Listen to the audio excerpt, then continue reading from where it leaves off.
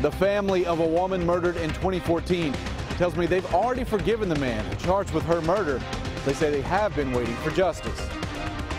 A crash involving a car and a school bus kills one person and sends three others to the hospital. The jackpot just keeps growing. Saturday's Powerball jackpot has reached a record $800 million.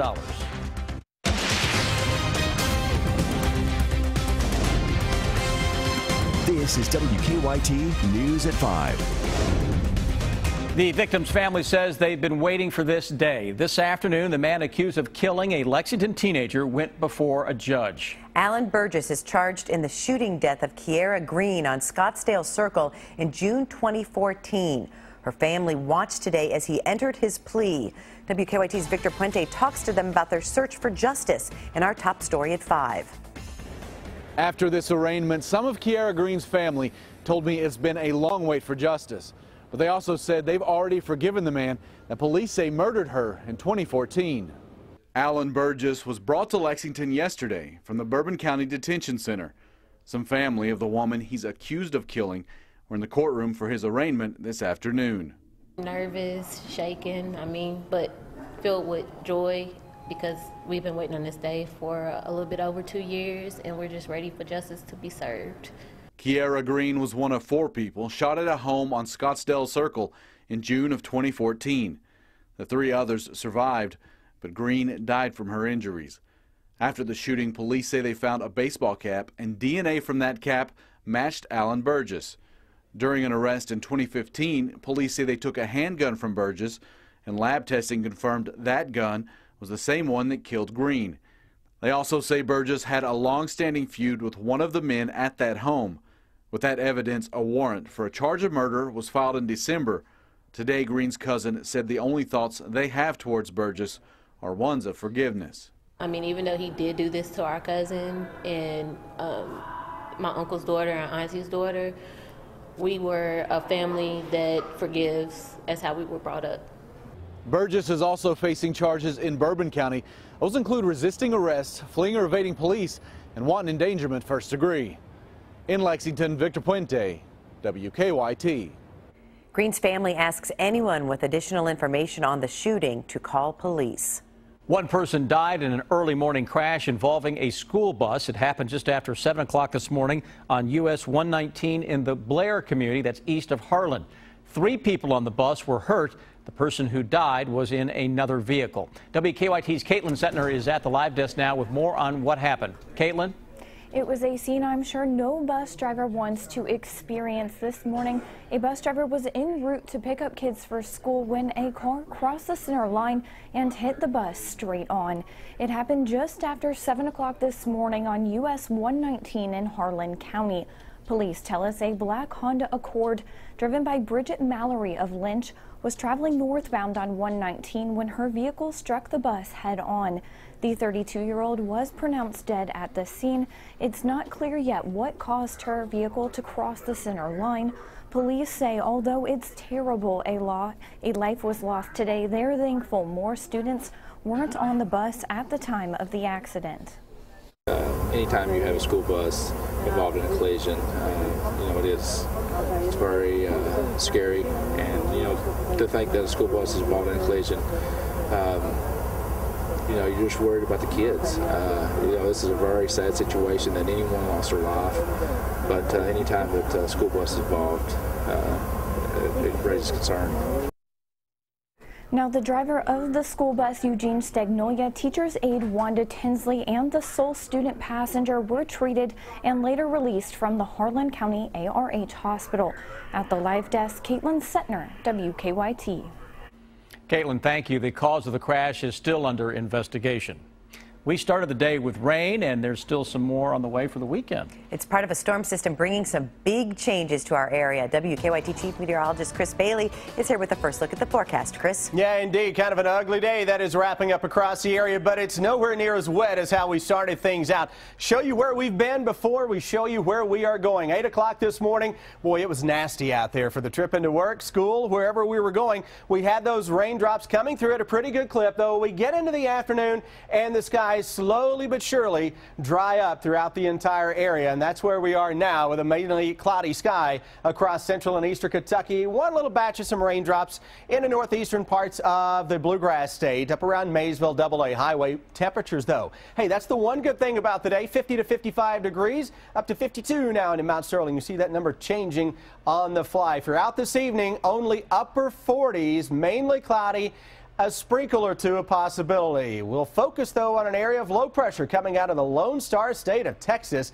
As we go into the weekend, that's going to bring rain, mild temperatures.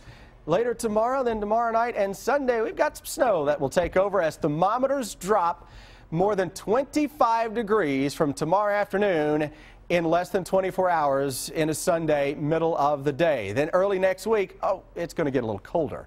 Arctic blast is on the way and it's packing some snow with it. We'll break down a busy and a winter-like seven-day forecast in a few. A shooting injured a Louisville area police officer. Shively police say Officer Wes Singleton, along with the suspect, were wounded while exchanging gunfire this morning. Officer Singleton had been serving a narcotics warrant at the time. Singleton is at University Hospital in Louisville with wounds to the leg area. He's been with the Shively Police Department for six years. Um, excellent officer. Um, all of them are. Everybody that wears this uniform does an excellent job.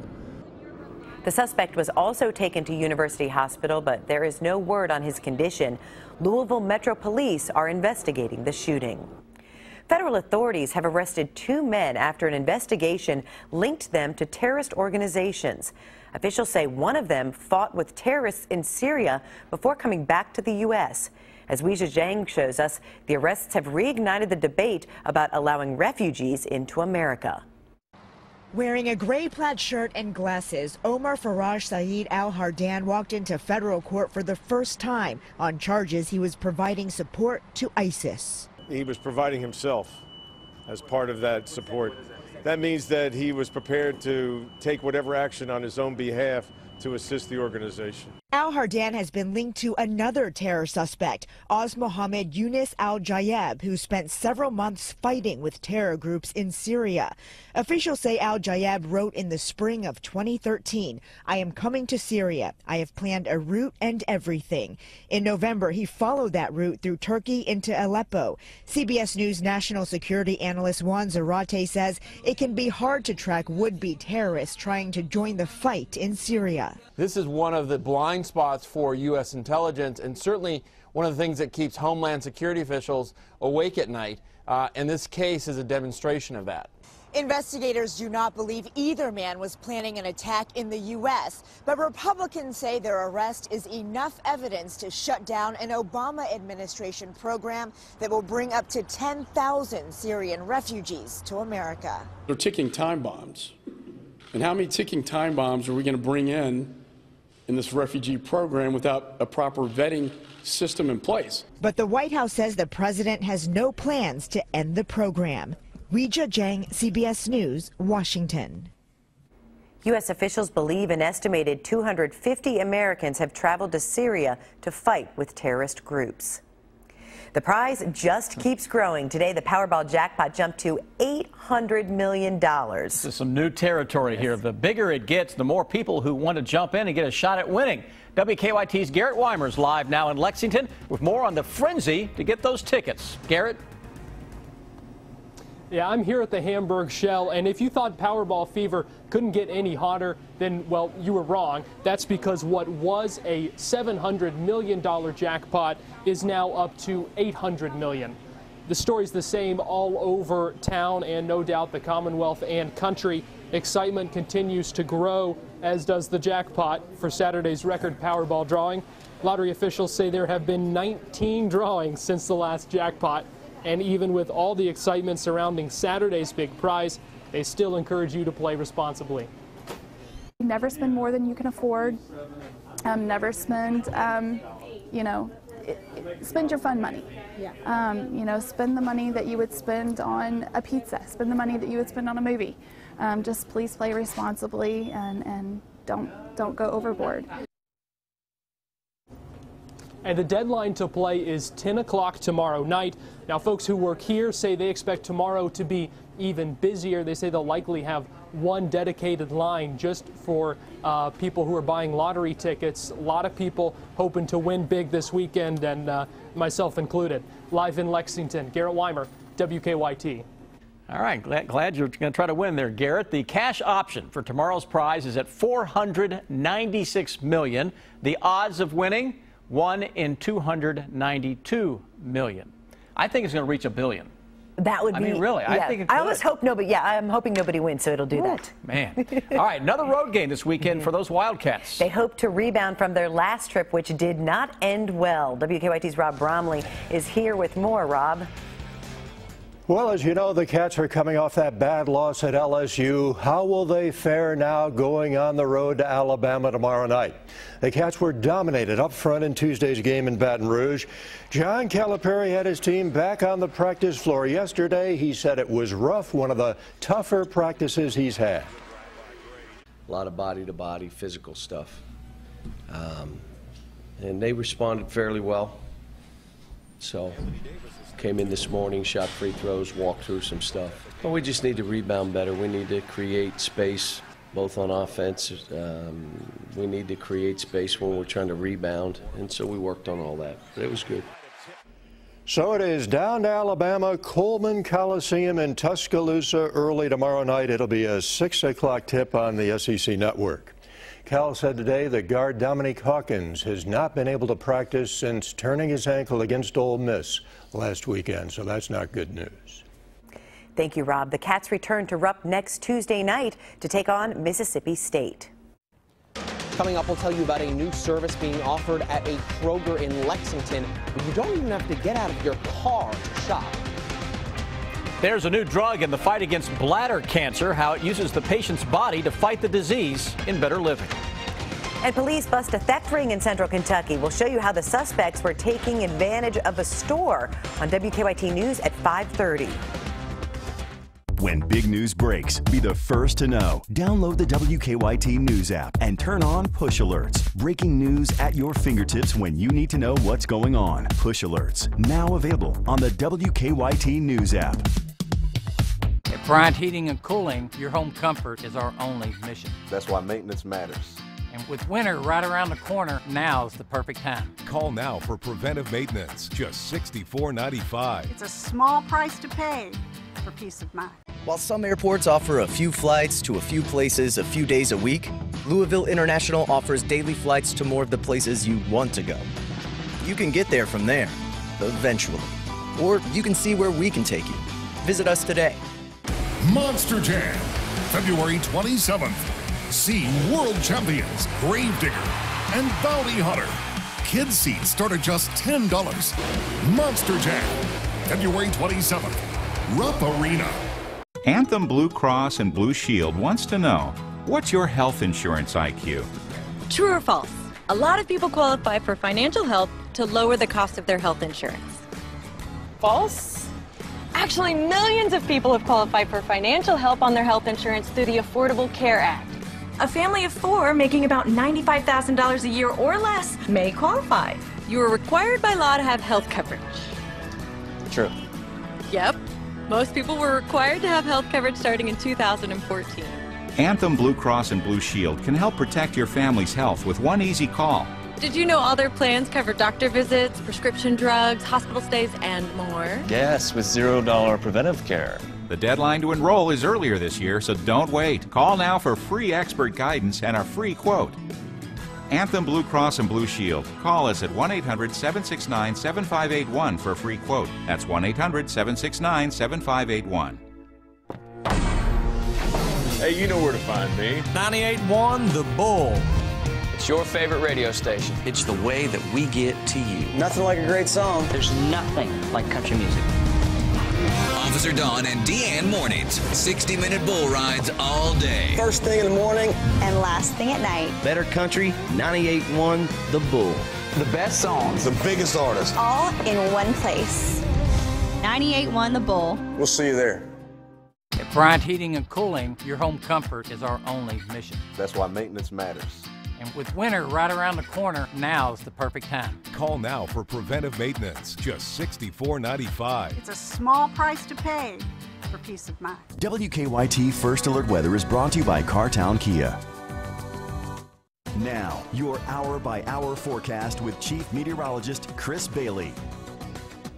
Rolling our way into the weekend. It's mild, but it's kind of ugly out there. We had a lot of rain early in the day, still a little leftover sprinkle or two, and then we get through tomorrow, and it's game on for wintertime in the Bluegrass State. Little look outside. How about your evening? It's after 5 o'clock now. It's the weekend. Officially, a lot of folks uh, sounding the horn on that weekend, calling it quits for your Friday, the first full week of January in the books. Weather-wise, ending on a much warmer note than how it started. Low 50s out there now. Humidity is still very high.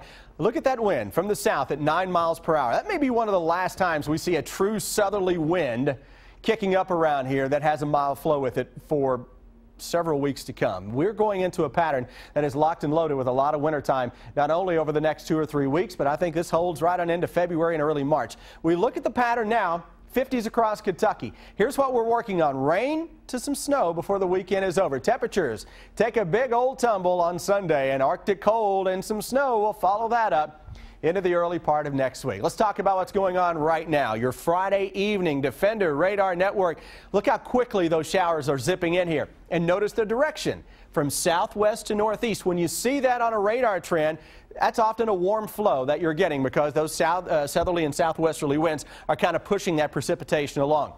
Tomorrow, if you want to get outside and take advantage of a decent day during the daylight hours, for the most part, we're okay. We get into the second half of the afternoon. Things get a little iffy now with the rain shield moving in. That should move in southern Kentucky, southwestern parts of the area, 2 to 5 o'clock. Rest of the area between 5 and 8. And it's kind of ugly out there tomorrow evening. Heading to the Bengals playoff game tomorrow night up in Cincinnati you're going to want to take the ponchos. You're going to take the rain gear. It's going to be windy, and you're going to see rain arriving as we get into the game. Here's the breakdown of where we go locally. Rain and gusty winds tomorrow night as temperatures drop. By daybreak Sunday, light snow is now developing from I-75 and west. Quickly Sunday morning, that band of light snow works its way across the rest of the area with snow showers and some light accumulations on Sunday with temperatures that will drop through the 20s. Then we skip Monday. It has nothing really going on. Let's go into Tuesday. Arctic cold front arrives. Light snow, gusty winds. That could put down some accumulations as well. Storm system number one, we just talked about that. It gets on out of here. The impressive one of the two, uh, still to me, is the one we've highlighted for several days now for this push of Arctic air coming as we go into Tuesday. That will have almost a squall line of snow with that, with gusty winds. And look at the numbers after tomorrow that whatever you wake up with on Sunday morning for your thermometer is going to be the high for the day.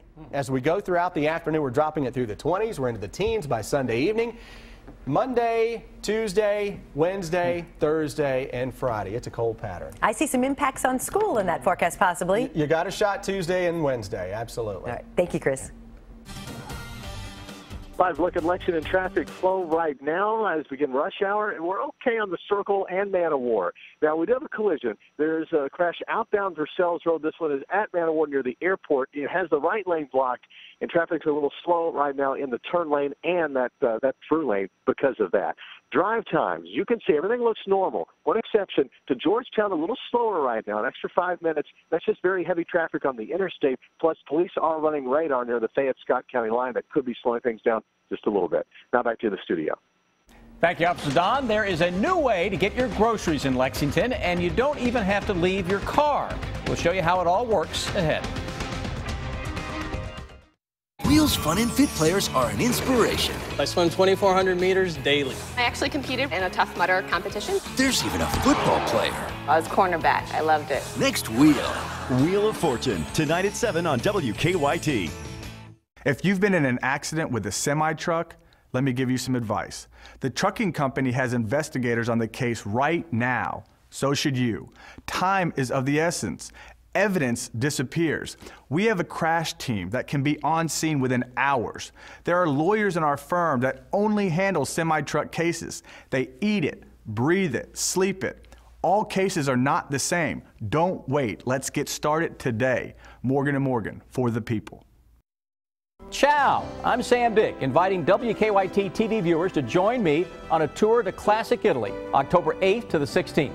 Our vacation includes two nights near Venice, two nights in Florence, and three nights in the eternal city of Rome. We'll also visit Vatican City and travel through the charming Tuscan countryside. Our tour includes all airfare, great hotels, many delicious meals, and more.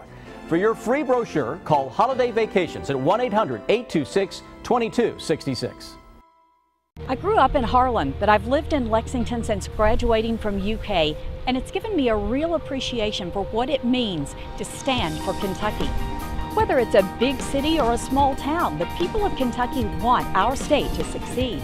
And we here at WKYT want to do our part to share the stories of difference makers who make our state a better place to live. I'm WKYT's Barbara Bailey, and I stand for Kentucky.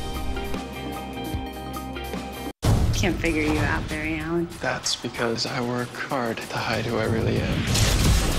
If Zoom finds out who you care for, who you love, he'll take them from you. You can't keep things from her forever. Then that's what I'll do. I'll tell Patty I'm the Flash.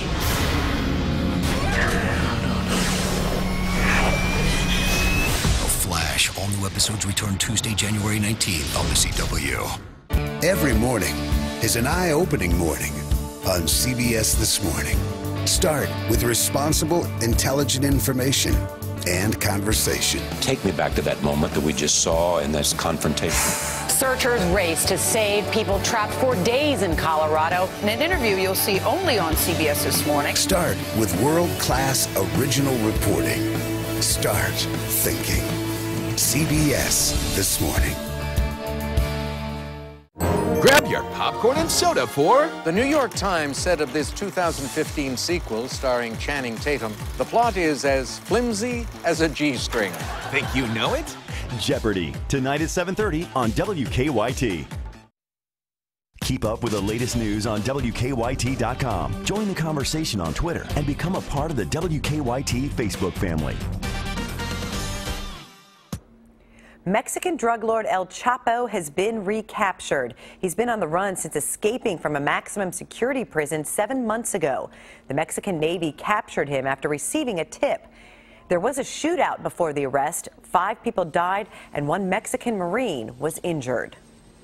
You can now get your groceries without even getting out of your car. You like this idea, don't you? I do. It started in Versailles, and now Kroger is expanding the number of stores where you can order your groceries online. Mike Linden shows us how it works. A new way to purchase groceries at Kroger has come to Lexington. It's called ClickList, and it's all done online. We're trying to provide the customer with a service that, that will that will help them uh, with their lifestyle and their obligations and, and make everything speedier and faster for them. With more than 40,000 items to purchase, customers can complete their grocery list without ever having to step foot inside the supermarket. Kroger officials say convenience is the name of the game for ClickList. Customers set up a time to come and pick up their order, pull up, call the number listed in front of their space, and in a matter of minutes, employees bring their order right out to them, all with skipping the shopping and the checkout line. ClickList has only been offered for less than two weeks at the Beaumont Center Kroger in Lexington, but some first-time customers say they'll be back for more. We don't have to get the kids out in the rain. We come in, they take care of it, we stay dry. Less moving parts to get in and out of the grocery store, and it's a lot faster. ClickList is free to use on three orders. Then it costs a flat fee of $4.95 for each order after that. I think the time that you spend at home planning your week ahead is worth any $5 bonus buys per se that you might grab when you're in the store, and I think it kind of pays for itself. In Lexington, Mike Linden, WKYT. Pretty interesting. Now, ClickList is also offered at the Kroger in Richmond and Elizabethtown. It's coming soon to the Kroger on Richmond Road, which Jennifer's happy about, and in Brannon Crossing. The island of St. Lucia is in need of help for their snake population, and we'll explain why they're reaching out to Kentucky on WKYT News at 5:30. There's a new way to fight bladder cancer using the patient's own immune system, and the reason constant email checking can be bad for your health. Those stories next in Better Living. Get WKYT news and weather updates on 1045 The Cat. Medical malpractice is the third leading cause of death in America, And more shocking is that the same doctors commit the same malpractice over and over again birth defects, brain damage, cerebral palsy, cancer misdiagnosis, and yes, even death. Doctors and hospitals have insurance to protect you when mistakes are made. Don't wait to pursue your claim. Time can run out. A lifetime is a long time. Morgan & Morgan, for the people. Hi, I'm Stephen Colbert. And I'm James Corden. And I'm the host of The Late Show. It's not enough time. CBS Late Night is on a roll. We're just two cool dudes who are ready to take comedy head on. The Late Show with Stephen Colbert and The Late Late Show with James Corden. The cutting edge in late night. Colbert! Corden! Late Show! Late Night should still run Weeknights. Only CBS. At the end of the broadcast, I'm most proud of what we have done as a team. This is the ultimate team sport, television news, and all of the people that have contributed to that night's broadcast, people who have risked their lives to tell the news and to deliver to the American people the highest quality news broadcast in the world today. That is a very satisfying feeling.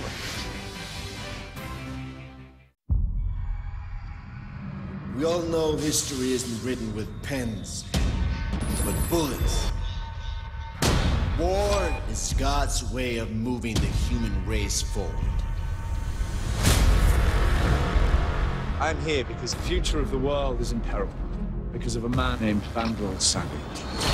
I chose you eight to travel throughout time to stop You got the wrong guy. Hero ain't on my resume. where I'm from. You aren't just considered heroes. You're legends. Now it's up to you, shall we? You're just a lost assassin.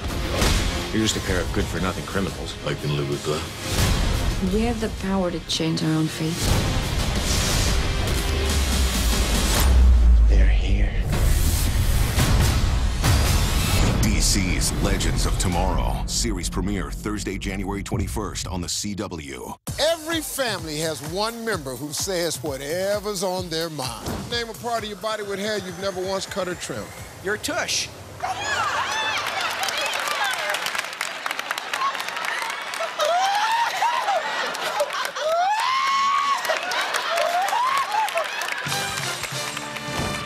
You say on Family Feud? I love this show. Family Feud, one full hour starting at 7 on the CW Lexington. It's time for better living, health, education, and consumer news that impacts your life. There's a new drug giving hope to bladder cancer patients. It uses the patient's own immune system to attack tumors. Don Champion shows us the difference it can make. lets me live a little bit longer. There was a time when Lee Eric Newton thought he only had months to live. Diagnosed with bladder cancer in 2010, he'd undergone chemotherapy only to have the cancer spread to his brain. With dwindling options, the 51 year old found a trial of a new immunotherapy drug called atezolizumab. All of a sudden, my tumors began to drop in size.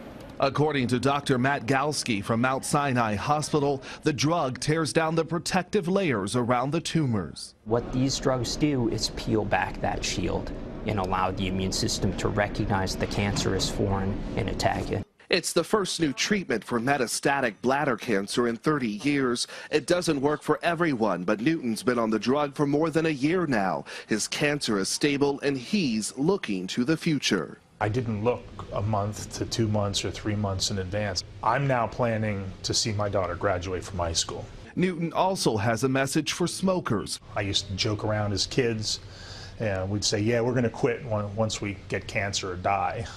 That's when we quit. But uh, it's not a joke anymore once you get cancer. Smoking causes about half of all bladder cancers. Don Champion, CBS News, New York. The drug isn't currently approved to treat bladder cancer, but the FDA recently granted it breakthrough therapy designation to get it approved faster. Common side effects include fatigue and small rashes. Keeping a constant eye on your email can be bad for your health. A new study called You Got Mail looked at email use. It found the number of emails you get isn't the problem. Instead, people who check their email from early in the morning until late at night have higher stress levels. So it's not necessarily about how many emails we receive, but when and how we access the email itself. The study is recommending people consider switching off emails and email alerts when they're not working. For more health education and consumer news, go to WKYT.com and click on Better Living. Now here's what's coming up at 530.